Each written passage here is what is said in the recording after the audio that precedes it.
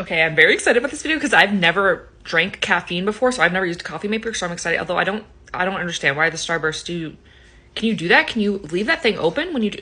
Okay, that's gonna start a fire. I don't think that's allowed at all. I don't understand. Why would you? Is, is this still coffee? If it does that, that's like eating penicillin with that texture. It's, yeah, it's burnt. Can you eat burnt things? Why are you doing salt?